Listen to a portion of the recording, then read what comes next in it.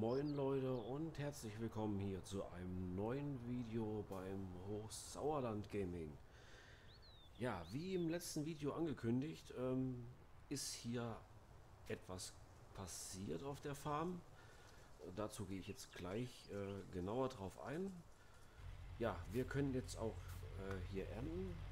So, da würde ich sagen, lassen wir einfach mal unseren Helfer hier schon mal anfangen, Sojabohne abzuernten.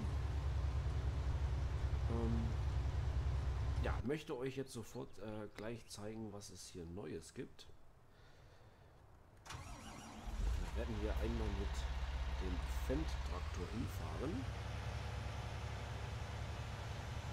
Und wie man hier links sieht, die Obstgärten sind da. Ja, ich habe mich entschieden, äh, kurzerhand die Obstgärten jetzt äh, ja, in Betrieb zu nehmen. Dafür werden wir einmal kurz schauen, was wir benötigen. Und bei den Obstgärten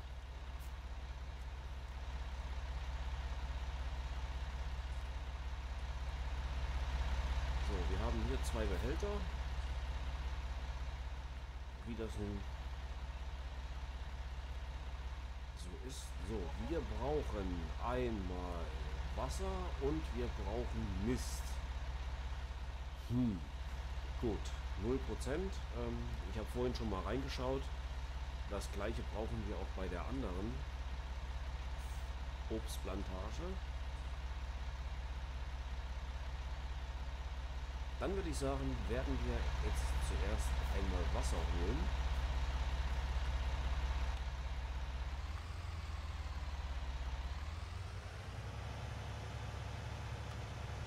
Dazu werden wir unser Wasserfass holen. Ich muss einmal gerade schauen, wo das ist. Das steht hier, glaube ich, bei den Schafen. Ja.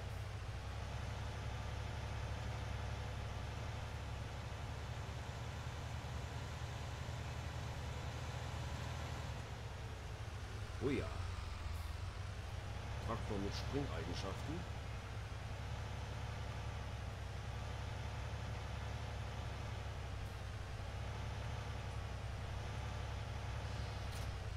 Viel haben wir drin? 91 Prozent äh, dürfte reichen, um das erstmal kurz zu befüllen. Ich würde sagen, wir fangen mal bei dem hinteren an. Dann brauchen wir hier den steilen nicht hochfahren.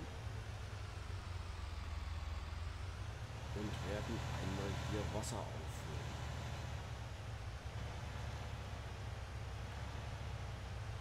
So, kriegen wir hier jetzt einmal Wasser. Man sieht auch gleich, dass die Bewässerungsanlage gestartet ist. Die Bäume fangen an Früchte zu tragen.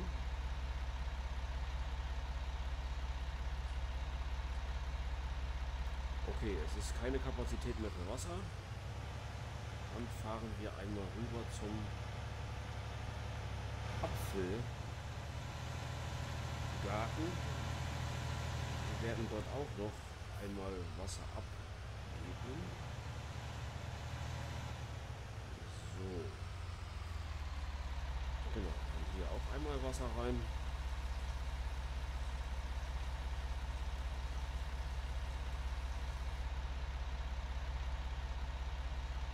Okay, unser Brenner ist leer. Wir fahren jetzt einmal hier runter.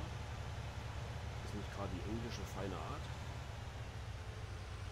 Ganze auch nochmal hier runter.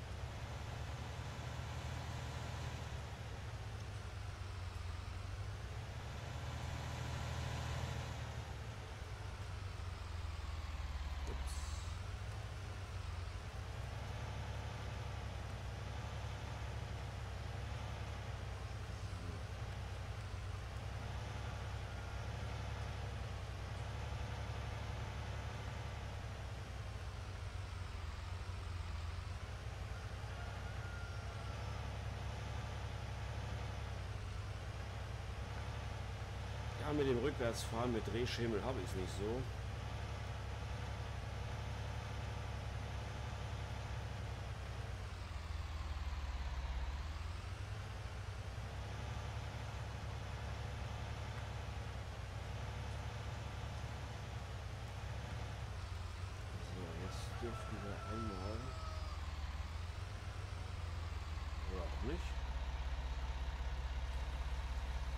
voll machen.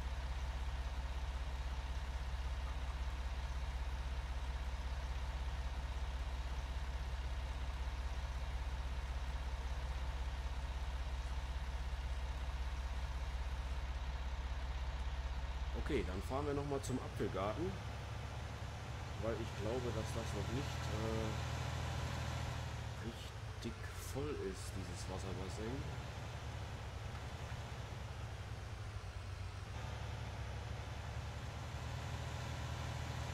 Jetzt müssen wir mal schauen, ob wir da durchkommen. Wir werden auch gleich den Anhänger hier oben stehen lassen.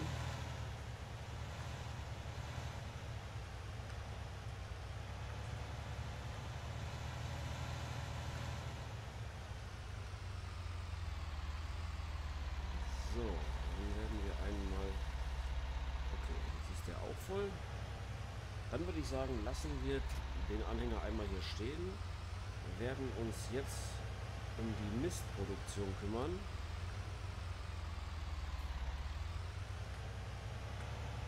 Und dazu werden wir jetzt einmal Mist holen. Viel haben wir nicht an Mist, aber ähm, sollte reichen, denke ich mal. So, wenn wir den einmal hier platzieren. Okay. Dann schauen wir einmal. Den brauchen wir jetzt nicht. So, dann werden wir hier einmal den Mist rausholen.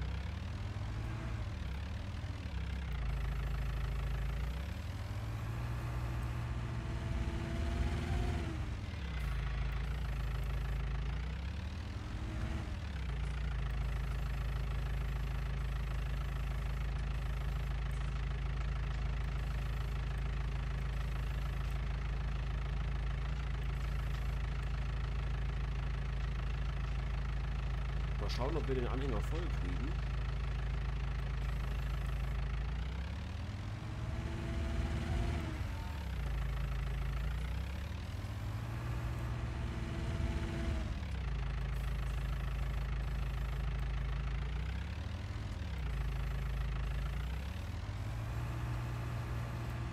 Wenn nicht, müssen wir uns einmal ähm, ja, falls wir den Anhänger nicht voll kriegen sollten oder auch wenn wir ihn voll kriegen, würde ich sagen, äh, müssen wir das ein bisschen aufteilen. Dass wir überall so ein bisschen mal was reinkippen. Dass wir, ähm, ja, quasi überall nur ein bisschen drin haben. Weil ich glaube nicht, dass, die, äh, dass der Mist reichen wird beide vollständig aufzufüllen.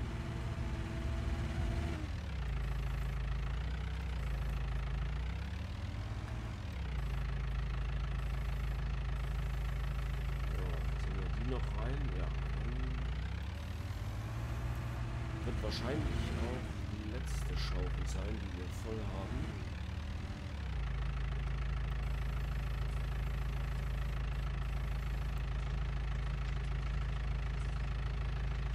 Jetzt hier rein.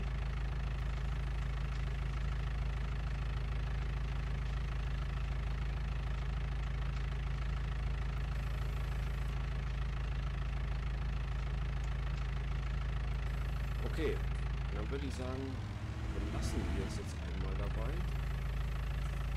Weil das, was wir jetzt noch hier drin haben, das ist wirklich nicht mehr viel. Unser Helfer? Ja, ist äh, auch gleich voll zum Abtanken. Würde ich sagen, fahren wir jetzt mit dem schon einmal hier rüber. Werden den Drescher einmal abtanken. Ach, was ich gerade im Hintergrund sehe, unsere Bäume. Wir fahren einmal kurz hier bei den Bäumen vorbei. Ja. Das ist doch ein schöner Anblick.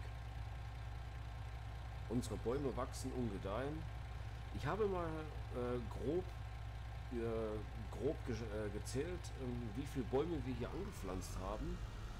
Ähm, also ich schätze mal, es sind ungefähr 500, die hier auf diesem Feld stehen. Das sind 500 Bäume. Ähm, damit können wir schon mal reichlich äh, unser Sägewerk füttern, wenn es dann soweit ist.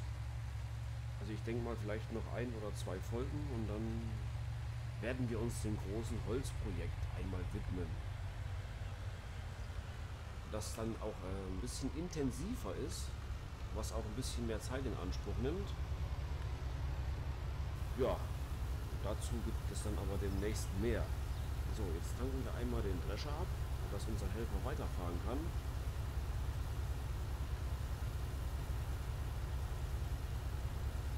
Weil wenn der Drescher nämlich steht, dann äh, verdienen wir kein Geld damit. Und ja,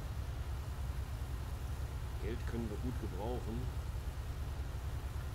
weil der Harvester ist nicht gerade billig und auch unser LKW ist nicht billig. Also wir brauchen ungefähr, um diese beiden Fahrzeuge zu kaufen, um noch ein bisschen Geld im Restpuffer zu haben, schätzungsweise um die 800.000 Euro. Dann haben wir jetzt ungefähr die Hälfte und ja, müssen wir weiter ernten. So, okay. Drescher haben wir abgetankt. Äh, füttern brauchen wir jetzt auch nicht. Ich sehe aber gerade, wir müssen auch bei den Tieren sauber machen. Das werden wir einmal jetzt erledigen. Mit dem Bobcat.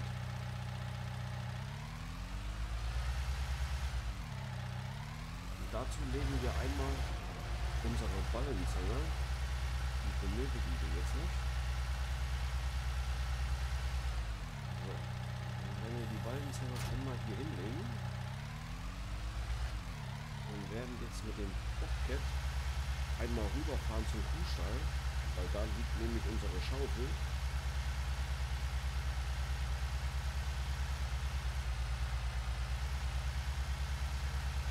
Also der Bobcat ist schon klasse. Also das ist wirklich ein gutes Gefährt.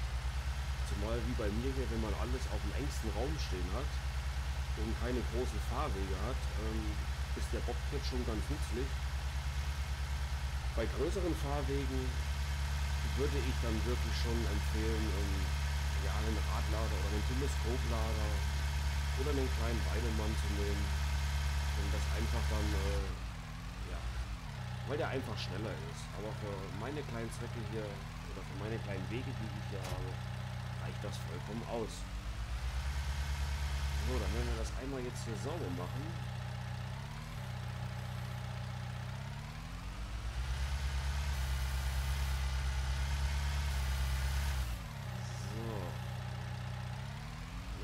Schaufel einmal leeren. Ich hoffe auch, dass wir noch Kapazität haben.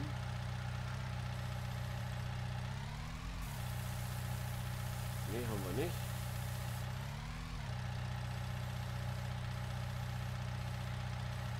Wir haben keine Kapazität. Moment, ich schaue einmal kurz nach. Wenn er dann mal fertig ist mit Speichern. So. Dann gehen wir einmal rein bei die Kühe und sehen, Heusilage ist voll. Hm, das ist jetzt natürlich ein kleines Problem, weil ich habe nämlich nur eine Schaufel. Ja, wo machen wir jetzt die Silage hin? Das ist eine gute Frage. Ich würde sagen, weil wir dies im Moment nicht benötigen, kippen wir das einmal hier hin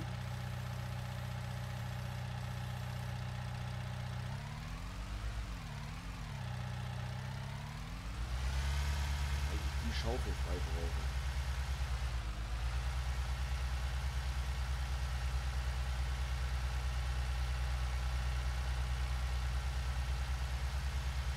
So, dann können wir einmal bei den Hühnern sauber machen.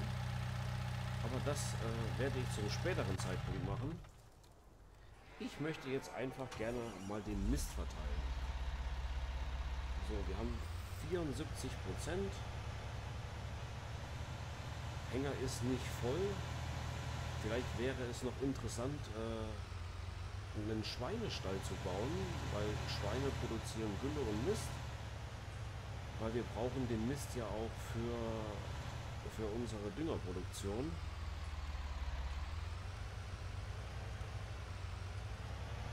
Und ja, wir haben so ein bisschen Mistengpass, sage ich mal. Okay, 74 Prozent. Und wir werden jetzt die Hälfte mal reinmachen. Das sind 37 Prozent. Also bis 37 und den Rest kippen wir dann in die andere Seite.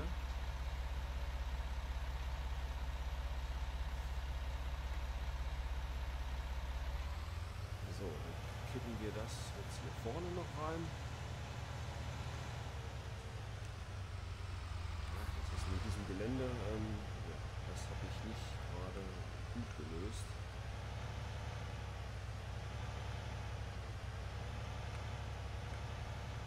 Aber können wir jetzt auch nichts ändern.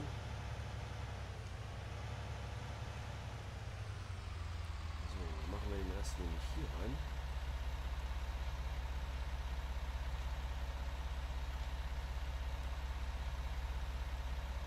Okay, haben wir das auch jetzt. So, wir haben jetzt die äh, Obstgärten am Laufen. Wir werden jetzt einmal kurz gucken gehen, was wir hier haben.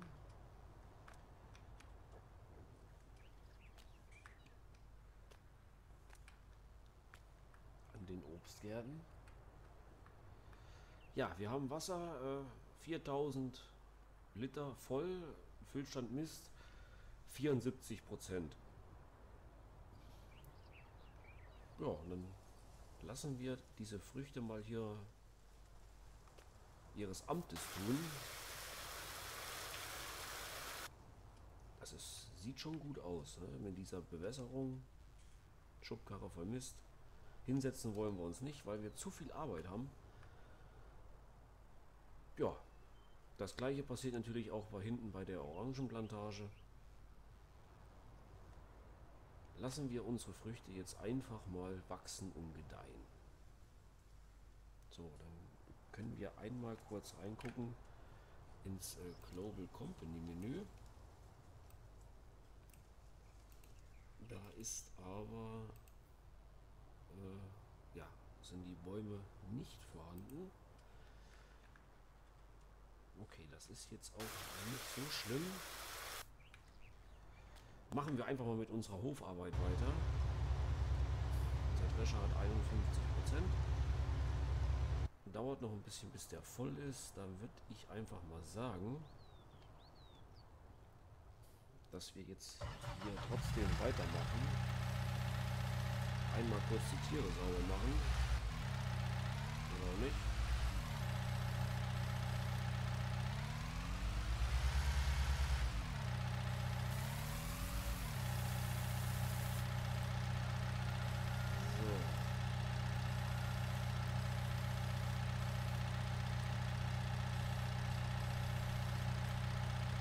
Fahren wir einmal rüber zum zweiten Hühnerstall. Und ich habe nämlich auch vorhin etwas gesehen. Ich habe ich hab vorher schon mal ein bisschen äh, ja, gespielt und reingeschaut, wie das denn mit diesen Obstgärten so funktioniert.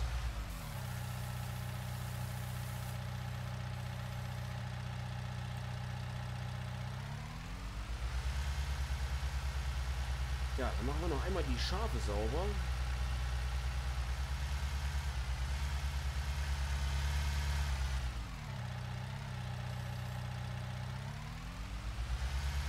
Dass wir da auch wieder tipptopp in Ordnung sind. Sonst sinkt unsere Produktivität und ja, wir brauchen halt einfach das Geld, um dieses Forstprojekt zu starten. Da freue ich mich wirklich schon sehr drauf. Wenn das dann losgeht mit, mit der Bretterproduktion, mit der Palettenproduktion, die Hackschnitzel. Ich habe auch schon noch einen Mod gefunden, ähm, was wir aus diesen Hackschnitzeln machen können.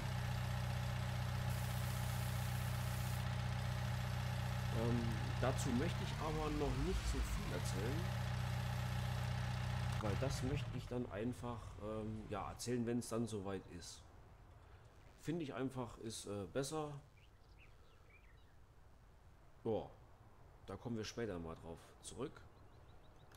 Wir werden jetzt ähm,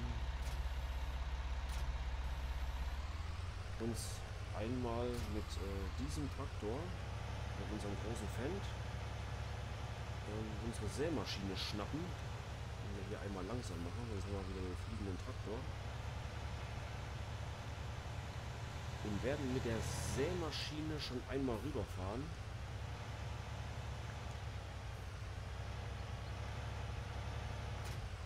So, voll gemacht habe ich die schon. Dann fahren wir einmal auf dem kürzesten Weg zum Feld 13.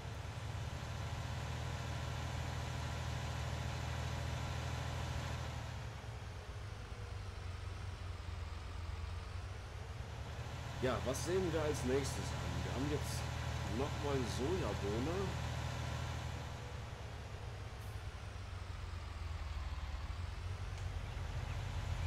Ja, da ist das Schild weg. So, wir haben jetzt einmal Sojabohne und nochmal Sojabohne. Hm. Ist jetzt die Frage,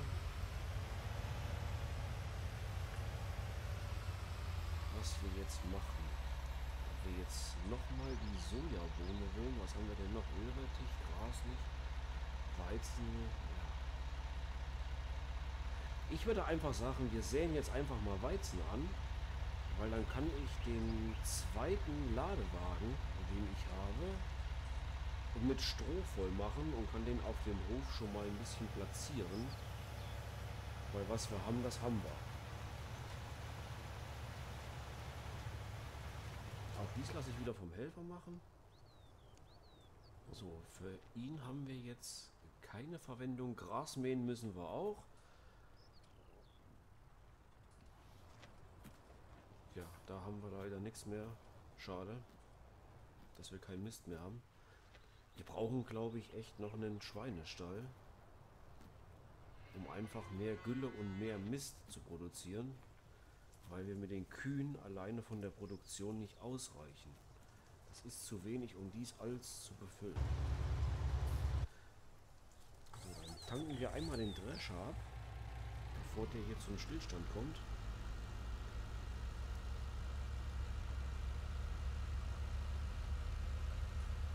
Ist auch gleich fertig mit dem Feld. Ich habe auch schon überlegt, ob ich vielleicht ja von diesem Restgeld äh, ja, noch ein Feld kaufe, um mehr Geld hereinzubekommen, aber ich weiß nicht. Ich habe mit diesen Feldern jetzt, ja, es ist ein gutes Einkommen, ne? klar. Man kann natürlich mehr machen, aber wenn ich jetzt natürlich noch ein Feld kaufe, dann ist das Geld weg. Und ich brauche jetzt ungefähr die Hälfte von dem, was ich brauche für unsere Holzaktion oder für das Holzprojekt, wo wir bald starten werden. Und ja, würde ich dann einfach sagen, wir kaufen dann einfach ein Feld, wenn wir mit dieser Holzproduktion angefangen haben und dann mit diesen Hackschnitzeln auch Geld verdienen, dann würde ich sagen, kaufen wir uns einfach die nächsten Felder. Ich habe dann noch vor, einmal ähm, einmal ähm, zeige ich euch jetzt, habe ich vor, und zwar möchte ich gerne Feld 12 noch haben. Das passt ja noch gut rein. Das kostet aber auch 453.000. Feld 22 noch. Vielleicht, wenn das mit der Holzproduktion gut laufen sollte. Auf 21 haben wir lauter Bäume stehen. Vielleicht, dass wir Feld 22 auch noch Bäume anpflanzen. Und dann haben wir auf jeden Fall ausgesorgt. Aber ich brauche halt auch genug Felder, ähm, ja, um mein normales Ernteeinkommen noch zu haben. Das wäre dann 12, 14, 7, 6. Gut, Feld 16 ist auch ziemlich groß. Könnte man hier einfach rüberfahren. Muss ich dann gucken, wenn es soweit ist. Äh, ja, gut, weil der Helfer schon am Säen ist, müssen wir jetzt ähm, unseren Ablade-LKW einmal umparken. Nicht, dass wir da irgendwie in Schwierigkeiten kommen. Den parken wir einfach mal hier im Nachbarfeld. Ist auch äh, ja, ein bisschen getarnt. Da ist Mais auf dem Feld. Ja, ist fast getan. Ne? Wenn er noch ein bisschen kleiner wäre, würde man ihn gar nicht sehen. So ist das halt. Brauchen wir alles nicht. ja, unser Helfer ist fleißig am Weizen säen. Dazu kurz noch zu sagen, unser Hofsilo ist voll mit Weizen. Also ich kann im Hofsilo davon nichts mehr speichern. Wir werden deshalb den Weizen komplett verkaufen müssen. Und ja, die Strohablage zum Einsammeln muss ich dann schauen, werde ich wahrscheinlich nur auf einem Feld voll machen. Weil wie gesagt, ich will einfach nur den Ladewagen einmal voll machen. Das heißt, ich werde wahrscheinlich dieses Feld hier mit Ablage fahren. Und wenn der Hänger dann voll ist, der Rest wird dann einfach untergekuppert, weil wir haben ja die Direktsämaschine. Von daher ist das dann nicht ganz so tragisch. Gut, für ihn weiß ich jetzt auch noch nicht, was ich mache. Ähm, ja, aber wir werden jetzt einmal mit dem Krone Big M starten. Und zwar werden wir jetzt dahin fahren, wo ich äh, mein Gras immer mähe.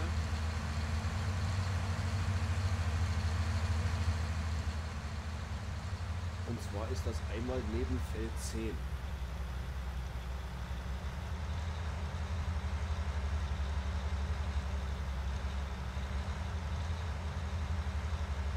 So, und zwar nähe ich immer hier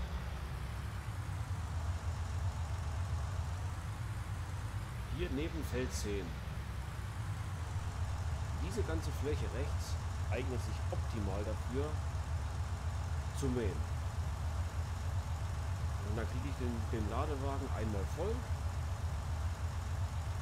Und das reicht mir dann auch. So, dann schalten wir den einmal an. Einmal senken. Ja, ich habe äh, aktiviert ist Schwartablage. Das heißt, ich mache das gleich auf Schwart. Äh, dann brauche ich mir keinen Schwader zu kaufen um das alles dann nochmal auf Bahnen zusammenzumachen. So geht das einfacher. Aber ich möchte euch damit jetzt nicht äh, hier die Zeit vergeuden, dass ihr jetzt denkt, ich mache äh, mähe jetzt hier die ganze Zeit, weil das ist äh, ja zu zeitintensiv. Das werde ich offline machen, werde ich hier dann mähen und werde das dann auch einsammeln. Das mache ich alles offline. Und ja, unser Helfer ist jetzt auch fertig mit dem ersten Feld. Dann fahren wir gleich rüber, gleich nebenan zu Feld 11. Werden Feld 11 auch gleich runtertreschen, auch wenn ich diese ganzen Bäume im Hintergrund sehe. Fantastisch. Einfach nur fantastisch um dort endlich unsere Holzproduktion zu starten. Das wird ein großes Projekt, das weiß ich jetzt schon. Da freue ich mich auch wirklich sehr drauf. So, machen wir einmal den Helfer hier wieder an. Lassen jetzt Feld 11 dreschen. Ja, soweit gibt es jetzt eigentlich äh, so nichts zu tun. Dann würde ich einfach mal sagen, Freunde, für ihn hier ist mir gerade was eingefallen. Habe ich noch äh, ja, eine besondere Aufgabe. Aber das seht ihr in der nächsten Folge. Bis dahin, macht's gut. Tschüss.